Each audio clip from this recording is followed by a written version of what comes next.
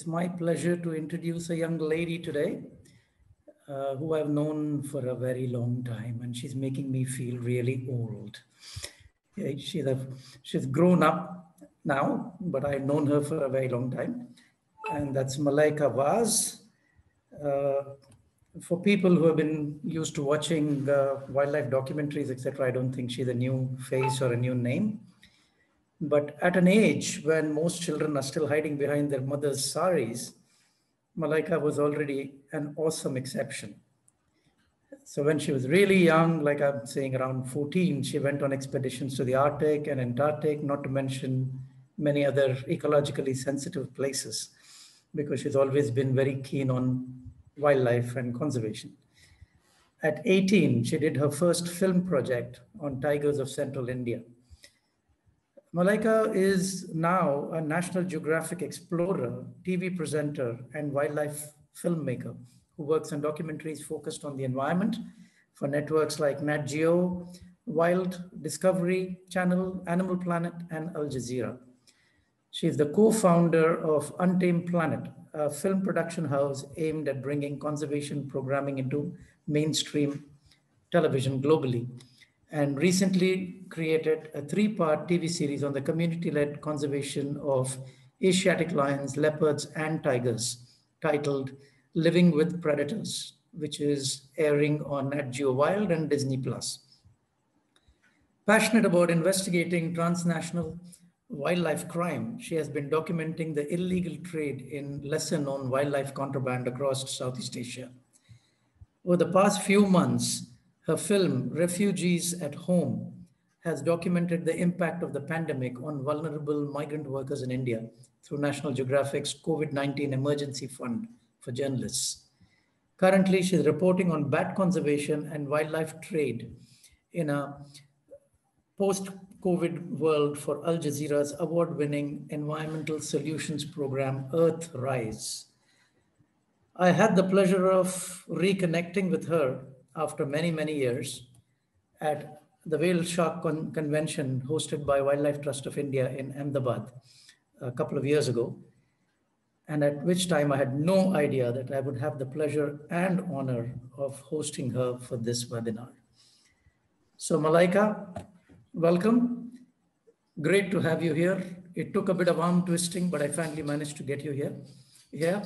And uh, uh, I'm sure the audience would love to hear me stop talking and to hear your dulcet tones about all the exploits that you've been up to. And so I'm going to hand over the floor to you. After this, please hold your questions so that you can ask her right at the end of the presentation.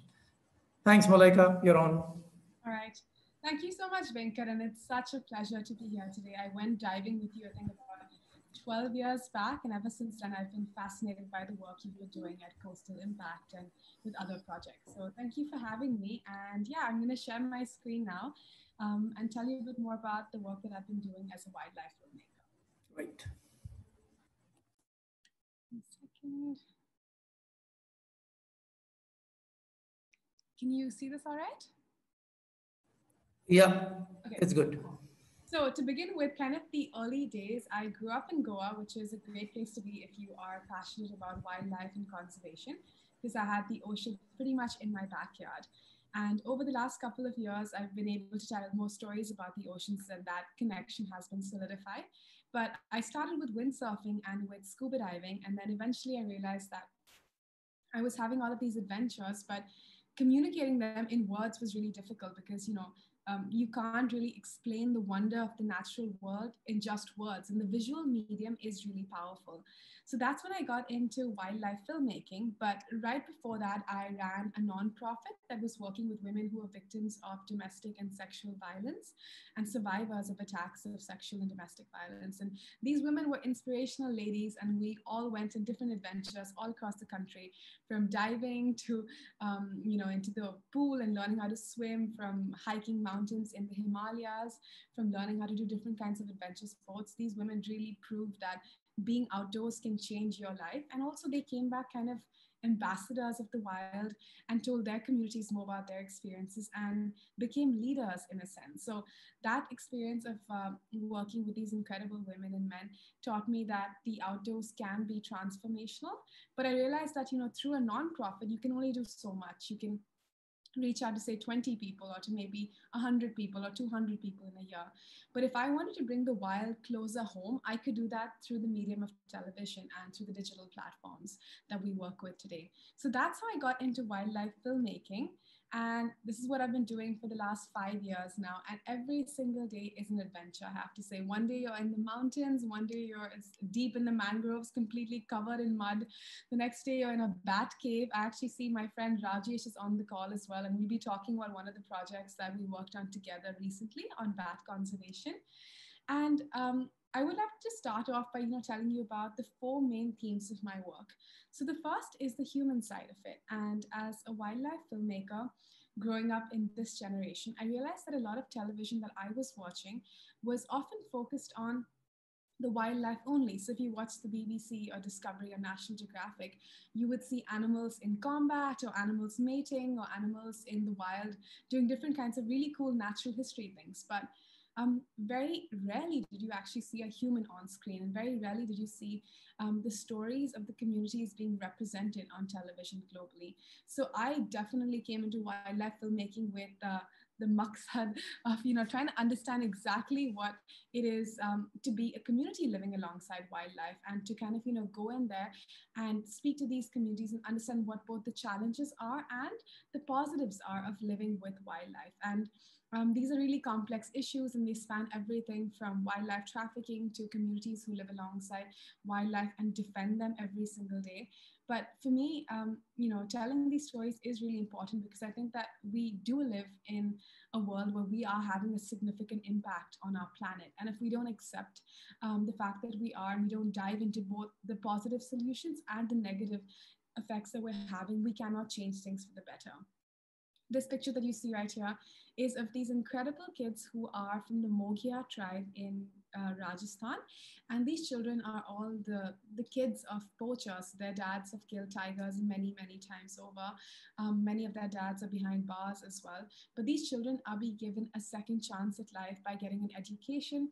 And it's incredible to see how in the span of one generation, pretty much, you can see communities that have, you know, exploited the natural resources they live alongside, suddenly becoming educators and protectors. So I think we all have it in us. And as a storyteller, my responsibility is to document these positive stories. Secondly, it is documenting the lesser known. India is one of the most amazing countries when it comes to wildlife, but so often we only talk about the terrestrial wildlife, like say tigers or leopards or other kinds of species. But India also has so much more that we don't often understand and we don't often dive into in terms of uh, the, the media that we consume.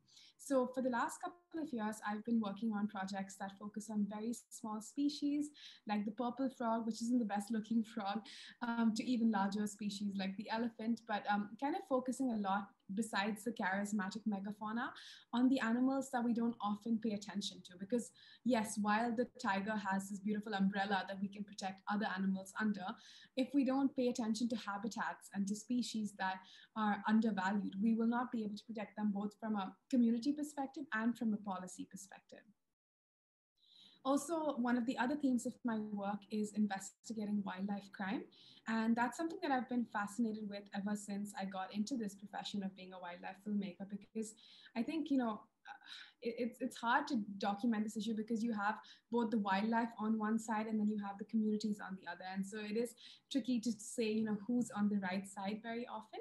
But over the last couple of years i've been trying to document both perspectives of both the communities and the scientists and the you know marine biologists who are working to protect these incredible animals this picture that you see right here is uh, a whale shark that I saw when I was in Guangzhou, China, a couple of years back. And this animal was killed for the wildlife trade, as were all of those um, sharks right behind. And I know um, there might be quite a few divers today. So if you just look at the number of sharks that these fins in this picture only represent, you have an understanding of what the scale of the wildlife trade is. Because when you walk into these stores in you know mainland china and hong kong you see thousands and thousands of you know different kinds of species from sharks to tigers to ivory even though there have been certain restrictions that the chinese government has imposed recently um, and all of these animals are coming from different parts of the world but what actually struck me was that a lot of them are coming from India, and India is losing its biodiversity as a result of the wildlife trade.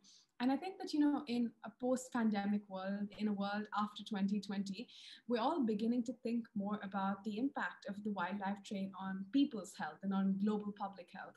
And as we begin to have these conversations, I think it's really important to dive into understanding what kind of enforcement strategies are required and what kind of policy changes are required to protect animals like this whale shark and lots more from different parts of the world. And finally, um, documenting conservation solutions.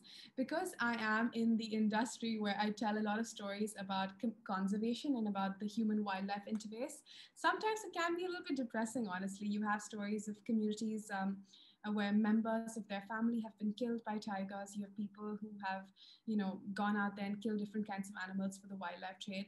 But there are also these incredible stories that give me so much hope and uh, that's what I've been choosing to focus on as well, because I think that when we shine a light on these issues and when we amplify these stories to broader communities, we realize that there is a lot that's worth fighting for. And there's a lot that we have that, you know, we should try to protect because sometimes it does feel like it's a gloom and doom situation. But the one thing that I've learned about the natural world is that it is resilient. It will bounce back when you give it a chance, when you give it the space and the protection that it requires. So there are lots of uh, reasons for hope. And this picture right here was a picture that a friend of mine took actually while we were in South Africa. And the reason that rhino has a bit of uh, that purple dye on its um, horn is because this rhino's horn was cut off as a result of the poaching crisis. But this rhino's horn was not cut off by a poacher, but by a conservationist. And the reason they did this was because they didn't want, you know, poachers to come in. So by cutting off the rhino's horn, you basically make this animal so much less valuable for any poacher that might be coming inside this park in South Africa where we took this picture. And I think, you know, with issues like this, it's always difficult because we are reminded of the impact humans are having.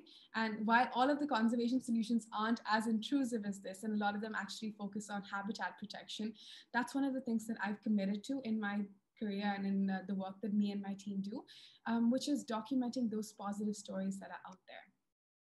Um, so I'd like to show you a couple of videos. Um, one of the shows that I recently did, well, not recently, about a year and a half or two years back, was called On the Brink, and it focused on India's lesser known species. And it was really cool to work on that because it was one of the first times actually that you had an Indian crew making programs for an Indian audience. I mean, you don't have outsiders always coming in and telling us about our own wildlife. So we endeavored and we managed to tell stories about eight different species across India, everything from the great Indian bustard to the slender loris to the tiger to the red panda and pretty much in almost every single kind of habitat from the Himalayas to the Western Ghats. And this series played on television and was watched by millions of people all across. But I think that, you know, one thing that really struck me was the fact that there was so much wildlife in every single place that we looked in.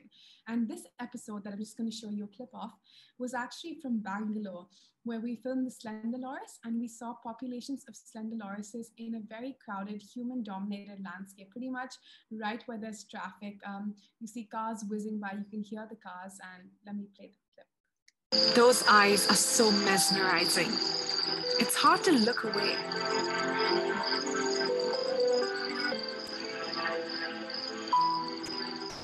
Lorises evolved much before monkeys. They became nocturnal as a clever strategy to avoid competition for food and space. To adapt to the night, their eyes have a reflective layer in the back that gives them excellent night vision. We're filming with infrared light so the animals won't be disturbed and we can witness their natural behavior.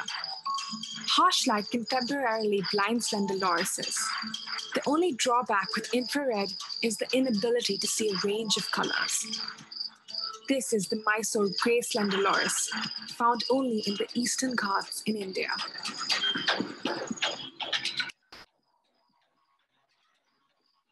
Lorises constantly groom themselves.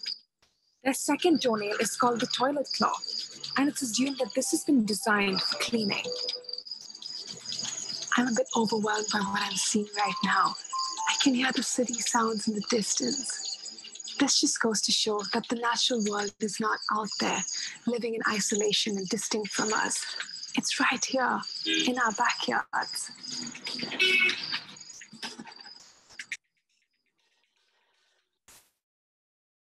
Um, let me just, I'm having a bit of a tech issue, but the next series that I worked on was focused on big cats. But there's obviously uh, when I was starting out, a lot of people told me there've been a lot of big cat films made. Why do you want to make another one?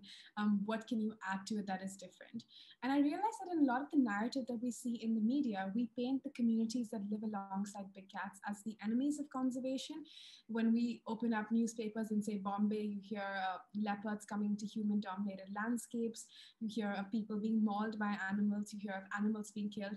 And that can create the perception that these animals do not live alongside humans and cannot live alongside humans. And very often the communities are villainized. So with my series Nat, on Nat Wild, Living with Predators, one of the things that my team and I really wanted to do was to change that perception and to help people understand that it's not just the communities on the front lines who hate them. It's actually the fact that these communities really, really respect and protect these animals on a daily basis pretty much and it's you know a range of different factors from economic factors the fact that you know big cats bring in a lot of tourism revenue into these places to the fact that you know in india we have the spiritual reverence for different kinds of wildlife species and that kind of trickles down trickle downs in, into conservation. And i think with the series we really realized that you know there were different kinds of communities from the rabari to the maldhari to the mogia three different tribes pretty much. And every single one of them had this insane respect for the natural world that resulted in them protecting asiatic lions leopards and tigers and this series is now playing in different parts of the world right now. But for me, the best part of it was when the show played in Gujarat, and a couple of the people who were actually in the documentary um, gave me a call. They were super excited, and they said to us that, you know, hey, we watched the show, and uh, I don't think that I've ever seen a show that actually tells our story, the story of the people who live alongside lions. We've seen stories about our lions, but to hear, you know, the voices of ourselves and of our brothers and our friends in the community really, really made us feel like we are also a part of this ecosystem. And that's what I endeavor to do with my films. Here's the trailer if you haven't seen it. Those eyes. Big cats, the most feared members of the animal kingdom, struggling to find space in modern India.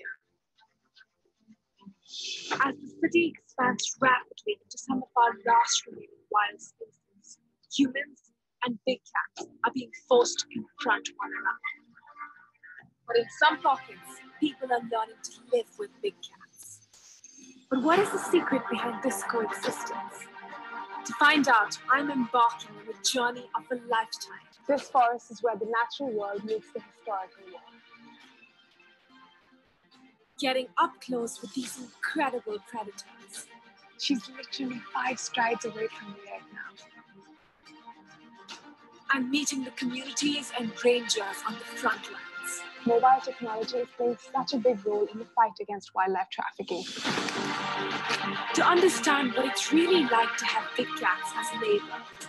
It's super tense right now. If we keep the tiger's neighbors happy, the tiger is happy. This is the story of coexistence, like never seen before. I'm Malaika. I'm looking for the extraordinary relationship that some communities share with big cats in India. And as part of this series, we also documented the stories of these village wildlife volunteers. As you know, the population of tigers in Ranthambore is quite high. So you see a lot of tigers dispersing outside of the national park. And when these animals disperse, they basically go into places where a lot of communities live in villages. And as a result, it's really difficult for the forest department to actually have, you know, DFOs and RFOs and you know field staff actually positioned all across because they cannot monitor um, the different tigers that are moving all of you know on the outskirts of the national park. So this organization that I really really admire called Tiger Watch has figured out a system where they've got community members employed as volunteers of the forest. And these guys, these amazing men that you see here, set up camera traps. They monitor any tra trafficking. They, if there's any, you know, lead that they find out about um, someone having weapons that they would be using to say kill a tiger for the international trade in tiger parts, they will immediately alert the forest department. They will gather that intelligence and then use that to protect the wildlife in their backyard. And through them, they also create a bit of awareness in the communities where they talk to other people and they help them to, you know, understand that, you know, these animals are just passing through. It is not a cause for alarm. It is not something that you should, you know, respond to with violence, but just let these tigers go through and the probabilities that nothing will actually happen. And then one of the projects that I've been working on for the longest time now that we just wrapped up in 2020 is a project that focuses on the trade in manta rays. Now, manta rays are one of the most, you know, charismatic animals underwater and i'm sure that people who've dived with them will relate to me when i say that you know they connect with humans they'll come close to you and they will interact with you and they have this you know sentience and intelligence about them but they also have become one of the biggest products that has emerged inside of wildlife markets all across Asia. And manta rays actually get uh, killed for their gills, which are then harvested and then used in soups in, in uh, mainland China, especially. And the problem with this is not only is it bad for the anim animals, obviously, as you can see in this picture, but it's also bad from a human health perspective because these animals bioaccumulate as they move up, move through the oceans and when humans consume that, you have all of these heavy leads like um, uh, cadmium and metal and arsenic that is inside of these gills. So it's really bad from a human health perspective as well. But we've been working on a campaign along with the Wildlife Trust of India to um, research the trade in these manta rays, figure out exactly what species we're finding in India, and then use that research along with the documentary as tools to get policy change to protect them in our country's waters. Because right now, manta do not receive any protection under the Indian law. Yes, they are protected by CITES, but they haven't been protected by the Wildlife Protection Act. So that's one of the things that I've been working on um, over the last couple of years. And this film will be out in 2021.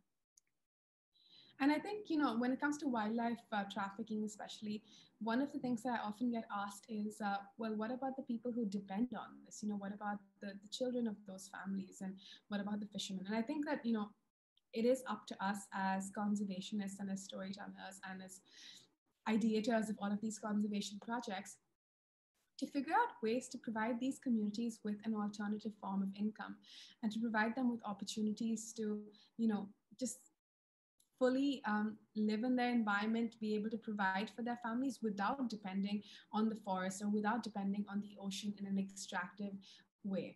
And you see these kids over here who are playing with shark fins and manta rays. And I think that, you know, if we don't stop this trade in the next five to 10 years, um, it's going to be bad both from a wildlife perspective and from a community perspective because these animals will run out anyway. That their populations are um, really, really unstable because they are slow breeding animals. So it is important to protect them while we still can. And uh, hopefully we can protect them so that these kids can one day see a manta ray in the ocean in their own backyard. And finally, one of the projects that I've been recently working on has focused on bat conservation. This is the Kolar leaf nose bat.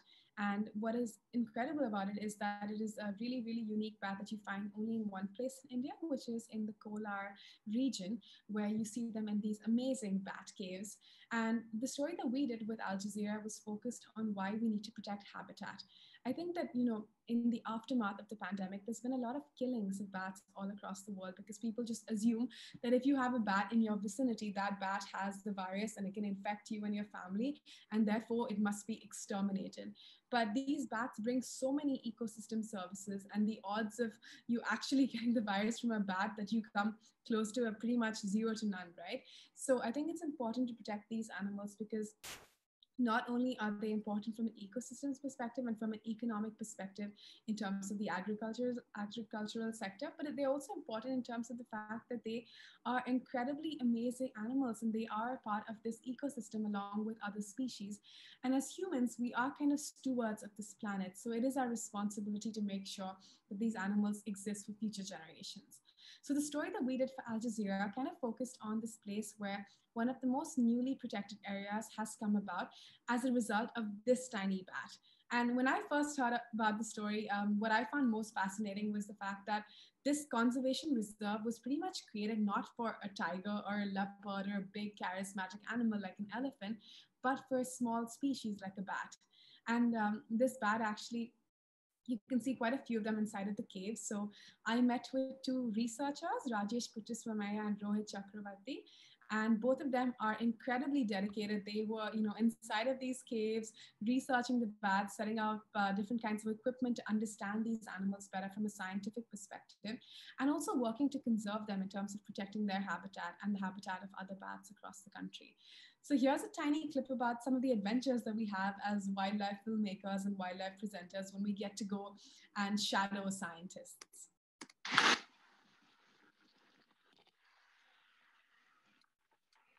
I'm pretty sure there are no claustrophobic bat scientists.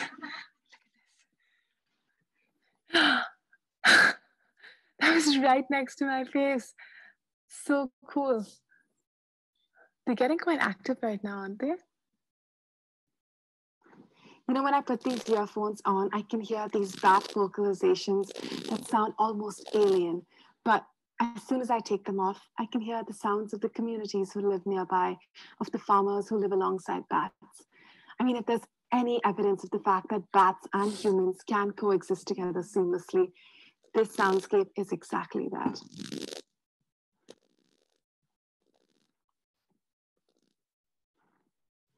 Never heard something like this before.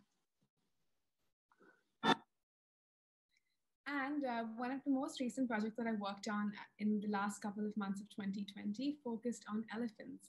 And the reason I'm standing right next to these elephants is not because um, I'm a daredevil, which I wouldn't do in the wild, but because these elephants are actually rescued from illegal um, centers where they were kept as tourism elephants. So um, the film focuses on the elephant tourism sector and how that is really exploitative because when you see an elephant in captivity, so many of us have, and we've, you know, become so normalized to it. It's become a very, you know, something that we just don't think about twice pretty much. But these animals are often trafficked as young calves from the wild, separated from their mothers and their herd, and taken into captivity where they are often you know they have to go through this very brutal training process so that humans can ride them but um, we wanted to focus also on the positive solutions out there. So I went and I met with the team at Wildlife SOS. And what they've been doing is rescuing these elephants and keeping them inside of this beautiful, beautiful rescue center where they can walk around. They have lots of space. They get to interact with other elephants for the first time ever. And that's especially important because, you know, every single one of these elephants was taken away from the wild at a really young age. And pretty much for 50 years of their life or 20 years of their life, they have to spend their entire lives in captivity all alone. And elephants are social animals just like us. They like to be around about around members of their own kind. And when you keep an elephant away from their own kind, keep them in captivity, shackled up, um, it not only is bad for them from a physical perspective, but also from a psychological perspective because they are, you know, very, very intelligent animals. So that's what the film focuses on. And um, as part of the filming process, we did a bit of an investigation into the elephant trade in Jaipur, which is one of the epicenters of elephant tourism. So you have hundreds of thousands of people visiting every single year and riding these elephants. But I do think that, you know, we can create a difference where, you know, by awareness, because this is a trade that can be stopped if consumers like you and me say, you know, no to elephant rides, we can actually create a world where elephants can remain wild and not have this additional pressure of elephant tourism, besides the developmental pressures, and despite the fact that so much of their habitat has been slashed in the last couple of decades in India and across the world. So here's a tiny clip from my investigation in Jaipur. You know, early in the week, I was in the forest surrounded by wild elephants and I can promise you that if I was on foot off my Jeep and in this close proximity to a wild elephant, I would have been crushed within seconds. And what people don't realize is that for you to get this close to an animal as powerful as an elephant, for you to take pictures with it and bathe it and ride it, there's a backstory there. A backstory of the animal being exposed to fear based training that crushes their spirit and takes away all of their wildness making them docile and tame enough to be around humans. That's what you're paying for when you choose to be around captive elephants. we hope that in the coming years to go, we can create enough of an awareness campaign about this issue that people actually go out there and they seek out you know real experiences with wild animals. I mean people often talk about the uh, wildlife trade aspect of it which is you know very easy to talk about because we can always just push it off to china. But so many of us have facilitated elephant tourism and tiger tourism. I have. I've ridden an elephant when i was younger and of course, I feel guilty about it, but I feel like, you know, that just gives us this additional responsibility to make other people aware of this so that in the years to come, we can create a better future for not just elephants, but tigers and primates that get taken into captivity from the wild. And finally, I'm ending with a picture of me in uh, Zemithang, which is a place near Zemithang in Arunachal Pradesh. And uh, I was, uh, it's a funny story. I was walking through the snow and in like a couple of seconds, the snow just buckled under my feet and I fell through into this icy cold water, which I had to like lug myself out of. And I was completely inside of this cold, cold water in the middle of nowhere, and the cameras were like turned the other way at the time. So no one even documented that moment. But um, despite some of the conservation problems that I often, you know, encounter at work, I think that wildlife presenting and wildlife filmmaking is an adventure every single day. Whether you're going undercover and trying to understand more about elephant trafficking in Jaipur, or whether you're trying to, you know, uh, film red pandas, which is what we were doing in this part of the world um, it's always an adventure and every single day teaches me something new about india's wildlife and you know being a, a, wildlife filmmaker in india there's nothing quite like it because we have the most incredible biodiversity and therefore we have an extra important you know responsibility to protect this for future generations so thank you and i'd love to hear any questions and open up the discussion Thank you, Malaika. That was awesome. I think especially for me, your passion comes through. And that is the most important thing that is required in anybody who's trying to pass on a message of uh, anything as profound as conservation and uh, people. In fact, this is a topic which is actually not very well presented most of the time. As you said, we concentrate mostly on wildlife, neglecting or forgetting the human angle to it and uh, that was really good. I, I'm deeply distressed to say that I haven't seen any of your films right now. I'm admitting to it. I'll send you the links. They're online as well. I would love to watch them. I would love to watch them, and uh, particularly because you are in them, right? Because no, like you said, it's um, very rare. Number one, to see an Indian-made documentary, and number two, to have a young female presenter in that as well, who comes across with the passion. So definitely would look that. I'm sure everybody who's attending this webinar also would love to see that. So I will pass on the links that you send me to all of them. Most of them are on my uh, Coastal Impact WhatsApp group. So I will share that. Um, you'll have a much wider audience. But I think it's a, it's a it's a very strong medium that you're looking at, and you've realized that at a very young age uh, how powerful this medium can be. And this is what is the need of the hour. Right now, more, I got into this game very, very late, unfortunately. But again, it was passion which prompted me to set up Coastal Impact and do something about the coral in Goa, which nobody even knew about. And uh, I think what you're doing is amazing and that you started so young and you managed to keep the passion going and you're concentrating on species which are not keystone species, but which are, as you said, lesser known. And it's so important that they make the base of the food chain. And that is what everything else depends on. And that's fantastic. Great. Now, my first question to you. Thank you so much. Not yes. at all. my first question to you is very, very important. And you really need to think about how you're going to answer this because nobody else has the answer, right? How many days are there in a year? And how many hours are there in a day? Because you seem to have more than our share. so tell me what's the secret?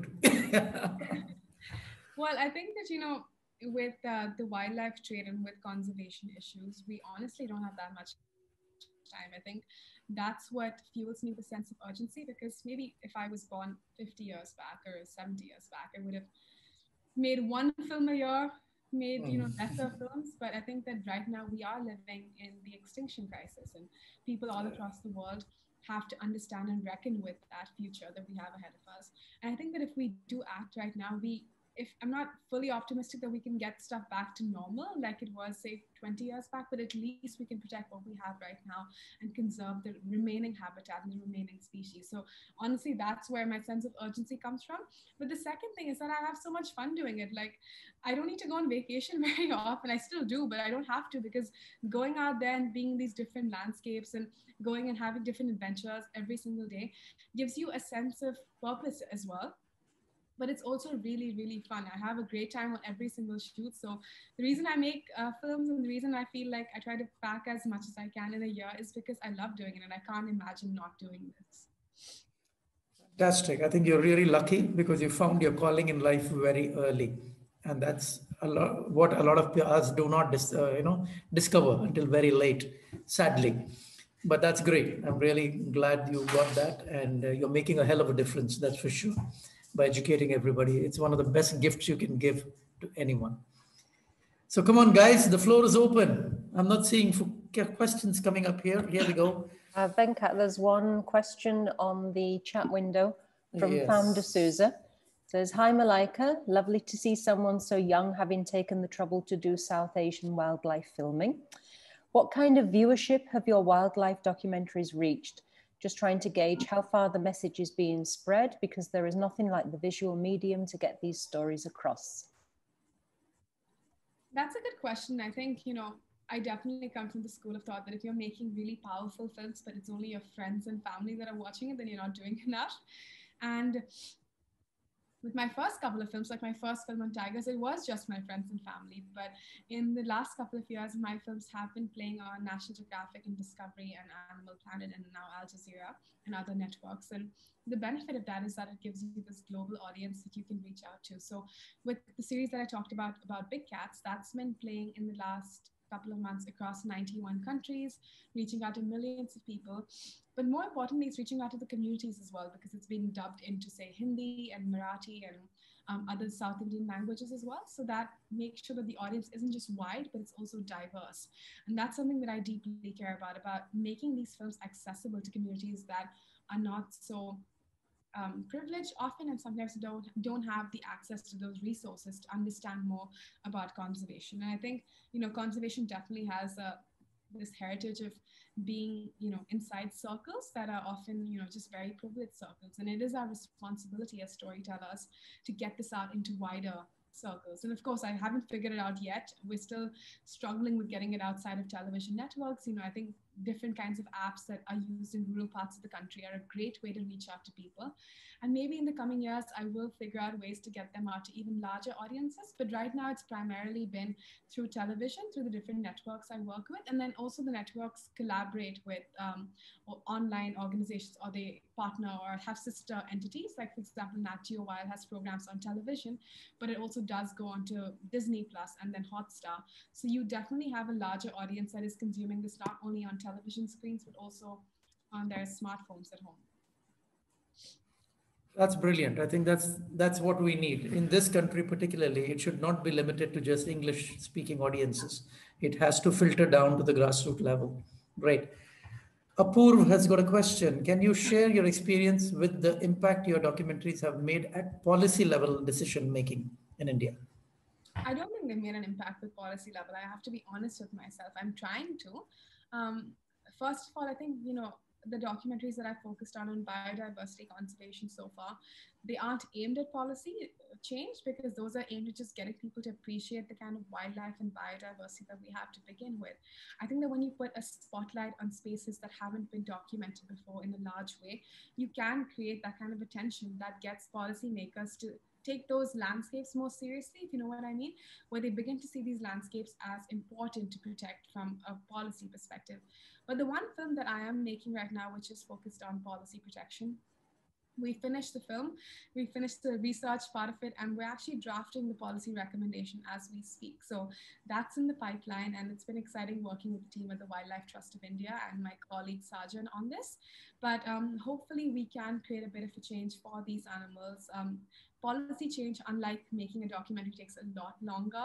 It takes deliberate, constant effort. So I feel like for filmmakers, you can't commit to making a policy change with every single one of your documentaries. But if there are certain issues that are really close to your heart and issues that you really care about, I think we have a responsibility to go beyond you know the screening date of the film or beyond the telecast date and actually follow it through with a campaign or with a educational initiative or with a policy research initiative or something that can actually create tangible change at the grassroots and at the national level.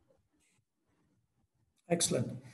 Okay one more question from an anonymous attendee is hi malaika. I've been a fan since i watched living with predators. What advice would you give to younger viewers like myself who want to pursue the same career and what sort of challenges did you encounter as such a young woman in the field? So um, I often get asked this question, but you know, it's been incredible because let me just plug in my computer. I think it might die any second. What do you do when you're a wildlife filmmaker? You're not always ready and you're kind of being very good at jugaad as you go. But uh, the thing is that, you know, with being a wildlife filmmaker, people often talk about how it is being a female wildlife presenter and filmmaker but i de- definitely have to say that it is no different and i've been really lucky because this industry is one of the most welcoming in my opinion in my personal experience i have to say where people don't really think about your gender so much when they you know look at who they want to hire. And um, over the last couple of years i've worked with teams that are fully women and I've work with teams that have different genders and I work with only men for the most part of you know different filming projects. But I feel like if you have the skill set and the passion and an ability to really dive into the story and have this you know storytelling capacity to um, reach out to wider audiences people will take you seriously. So for me it's been really really inviting and really really welcoming. And i have to say that's because of the work that other wildlife filmmakers who are women have done before me. They've set the stage for young women like myself to come over and to ensure that they can do exactly what men did 50 years back. So it is an inviting place. And if you, you know, want to be a wildlife filmmaker, people are here to support you throughout. I would say that being younger has been a bit challenging. That's something that is difficult sometimes because people, when they watch television, uh, they're so used to seeing David Attenborough presenting about the natural world and talking about wildlife. And he's like 93 or something right now but he also started at 20 in his 20s or 30s but people often just associate um, age with wisdom and they want to have someone more authoritative and older on television. So initially when i started with wildlife presenting and filmmaking it was a bit hard to convince commissioners to take a bet on someone who was 20 or 19 or 21 but over time, I realized that being younger allows me to reach out to an audience that is my age, to reach out to my generation, and to tell them stories in a way that is relatable. When I'm on camera, so often i'm being myself i'm you know being silly on camera i'm being sad on camera when i come across something but i don't try to be someone who i'm not. And i think that that's one of the most important things to being a wildlife presenter where you just authentic really, really. And you just pretend to be you know you don't pretend to be anyone you just you just are yourself um, and then from a wildlife filmmaking perspective i would say that if you are interested in being in this space definitely just start somewhere. Like if you have a phone camera or a small DSLR camera at home, start out by going and recording things in your backyard, recording biodiversity. If you have friends who also do this and who have different skill sets as yours, um, you can collaborate with them and create your first project. But I feel like there's a lot of opportunity in this industry. You just have to have the passion to go all the way and to keep, you know, persisting despite all the challenges that are out there. And we need more wildlife filmmakers because there is so much biodiversity in this country and so many conservation challenges that haven't been documented. So come on board. And I think now Malaika is getting old, so we need younger people in the picture, right? and if you ever have any credibility problem, you come to me. I'll lend you some of my hair, so you'll get better credibility with my hair. Okay. Okay, folks, any more questions? Come on, keep them coming. Don't give her time to breathe. we did have a request for links for your uh, films. If you could let me have them and maybe I can circulate them. Yeah, for sure. I will send across the links. I actually have one right here that I'm going to send. The one that I've posted in the chat is of the television series that we did on Asiatic lions, leopards, and tigers. It's on Disney Plus and Hotstar, so you can check it out there. And I think it's playing on TV as well right now. Thank you. I think Karen has got a question about rhinos. I'll let her ask. No. Go on. No, it's serious. It, it's something which I never thought about, which you should. No, no. Um, yeah, we were learning that uh, rhino's horn is actually made up of compacted hair. And in your video, you said that the conservationist had actually chopped off the uh, the rhino's horn to make him less valuable to the the hunters and the poachers. So is that that presumably that horn grows back then because hair grows back, doesn't it? So it must be like an ongoing thing. It is. So what they do is every couple of months, I think about six or eight months, they have to do this again because the horn does grow back. But within that six month period, they pretty much have that protection against wildlife poachers. Um, it's obviously a very harrowing process for the rhino because you have these helicopters. I remember seeing it live. You have these helicopters last July in South Africa that just kind of circle, and then these animals are darted and tranquilized. And uh, as soon as they go down, they these amazing vets and these amazing conservationists go in there and they saw off the rhino's horn and that happens within a span of about 10 minutes less than that actually. And then the rhino you know comes back and he starts running around and he goes away. And obviously i think that's you know not the best case scenario. Hopefully we can create a world where not just in south africa but also in our country and kaziranga and other parts where we don't have to resort to these extreme measures to protect wildlife but we can actually protect it in, in other ways by you know, con- conserving habitat, providing economic opportunities to the poaching communities, and figuring out ways to enforce more laws when it comes to the wildlife trade. Thank you. Okay, one more question from Niti. Thank you so much for your passion. Also, your encouragement with your last answer. Can you please share some resources, links for enthusiasts like myself who can get into the field as well? So I wouldn't say there's any resource that I can actually point you to because everyone's journey is completely different. I've met so many wildlife filmmakers. Some of them were ex-techies, some of them are engineers, um, people who are writers and then got into wildlife filmmaking. And I think that, you know, different people have different skill sets. I know someone who, you know, is an engineer and therefore can build really good camera contraptions when he's shooting. I know another friend who's a brilliant writer and therefore she's much better at writing scripts. So I think that, you know, whatever your current skill set is, I feel like you can find a way to channel that into wildlife filmmaking because we have script writers and directors and producers and presenters. And I personally write scripts, I direct, I produce, and I also present. And I feel like when I started off, I thought that I can I would be a wildlife camera woman and that I'd be behind the camera. And I realized that I wasn't very good at the technical aspect of camera work. I still do it, but it's not something that I can, you know, fully dive into and do as my only thing. Um, but I realized that there is a space for other aspects of the wildlife production setup. And that's why I write and I present and produce and direct, because I feel like that allows me to be part of the storytelling process. And that's what I really love. So I don't think there's any like specific resource that I could point you to. But what I would say is that when I first started out, it was difficult to actually get the funding to make your first film. It's hard um, before you get, you know, commissioners on board. And what really helped me was becoming a National Geographic Explorer because they trusted me with a project that I really wanted to do. And they gave me that initial amount of, you know, grant funding that allowed me to make a, a three-part series on wildlife.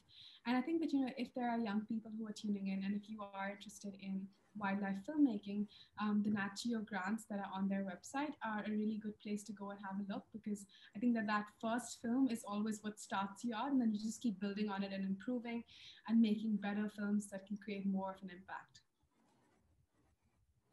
Right. Okay. FAM has got a question. What kind of research do you have to do to get your stories? Because it isn't only reading, it is getting into animals and people's lives. Are there more Goan stories that you would like to explore? So I've been, uh, let me answer the first part of the question first. Um, when it comes to the research process, I actually started being a wildlife researcher at a production house in Bangalore called Felis Creations. And I learned so much about wildlife filmmaking by just being behind the scenes, uh, doing the background research, reading up about wildlife, speaking to scientists. And I think that that's something that I still carry with me with every single project because you need to do like maybe sometimes two months of research before you can go into the field for 15 days because you need to understand not just the wildlife behavior because on camera I don't have a script. Everything is pretty much impromptu. Sometimes I write out lines that I'd like to say, but for the most part, it is spontaneous. So when you have a tiger right behind you, you don't have a chance to look at your script. You have to just remember stuff in the top of your head and just think about things that can make the story more interesting. So for me, as a wildlife presenter, research is what I spend a lot of my time doing, whether that's reading or reading research papers or watching other documentaries or speaking to scientists and speaking to experts in the field. Um, the research process is I mean, pivotal to the wildlife filmmaking process. Um, but then also when it comes to wildlife film with natural history and with filming animals, you can't find everything online. So you sometimes have to go to a recce. You have to meet people who are locals from the communities around there or scientists and try to understand the behavior of this animal so that you can predict its movements, so that you can predict how they would respond in different situations. And what I often do is I start out by reading a lot, and then if I have questions, I reach out to resource people and to experts in the field. So that helps me to create a much better picture. And then once you go into the field, you pretty much have to wing it. I mean, you have to realize that you have all of this you know, information, but the story is right there. It is unfolding in front of you. So you can't script it very often. You have to, you know, listen to the communities. If you hear about a tiger attack in one village, you have to go there, even though you might have planned to film right, uh, you know, in this particular village that day. And you have to try to figure out how you can use your film to create a difference because very often we just make films because we think that you know this is an important issue and that's from our brains and our brains have biases of course. But if you can kind of you know speak to people around that community and you can speak to experts and understand what's the issue here and then work backwards pretty much to do a better job with communicating that on screen as a, a filmmaker i think that's when you can actually do a much better job of communicating your research into a way that is really applicable in a real world context. And then the second part of your question, which is about Goa, I have been the worst Goan here because most of my films focus on other parts of the country and other parts of the world. I recently made one documentary with Nat Geo Traveler, a short film of a couple of minutes, which was focused on Goa's biodiversity. But I think that there's so much in state, and in the coming years, hopefully, I get an opportunity to document it some more, especially because of the threats that this wildlife faces today. Don't forget the underwater part. Yes, of course. I think that's, that's where we're going to work together. Yes. yeah, no, uh, it is, to me, it is very sad that even the scientists from organizations like NIO have neglected their own backyard because at the drop of a hat, everybody's rushing off to Lakshadweep or Andamans. No doubt, they are fabulous places and they have got huge amount of biodiversity underwater, but Goa has got its own share which I always say when I'm doing presentations in schools, etc., to students, that you know, Goans unfortunately know the only fish that is, ends up on their plates. They don't know the biodiversity that is there underwater, and it's a lot. Everybody focuses on murky waters, but there's a lot to see underwater, and you can actually, and you experienced it. So and it's also an appeal to the wild in Goa because I feel like when you go diving in the Maldives, there's so many tourists there, and you just um, it's very predictable. But I've had dives in Goa where I've seen things that I didn't expect, right? Mm-hmm. There's, you know, it's always an adventure whether you're diving in, you know, one particular dive site or whether you're walking in the forest in Goa. There's so much that you don't expect that just can surprise you. That's correct. Yeah, every day is a new experience, as you said correctly. I've got Anita on, uh, who's a marine biologist with NIO so she's saying, I'm already in Venkat for Goa. okay. So, and she's wishing you all the best, Malaika. Oh, thank you. All right, folks. Anything else? I think Malaika is getting hungry again. She had a bite before we started, but I think she's talked out now.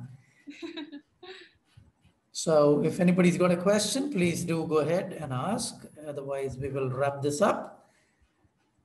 And uh, we'll look forward to Malaika giving us all the links to all her movies so we can have a fun time settling down with Fanny and Chips and watch that.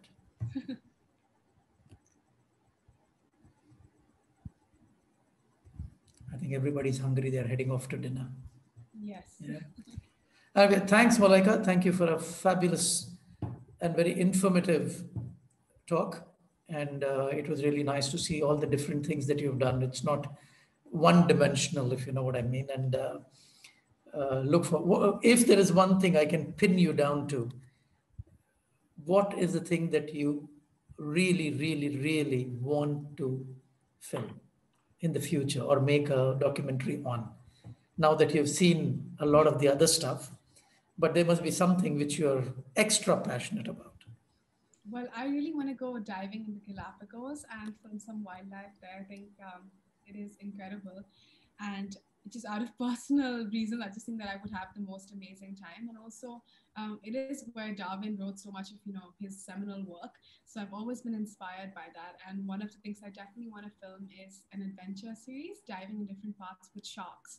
So mm-hmm. yeah, Galapagos and maybe different other parts of Asia as well. Um, that's on my radar for sure.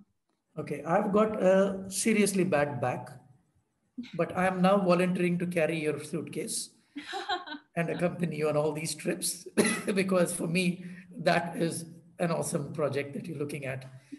So we do have a company called Scuba Centric, which does travel abroad for diving.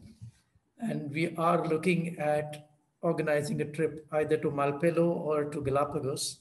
Okay. Mm-hmm. So I will definitely include you in that list for sure. And we'll have a blast. All right.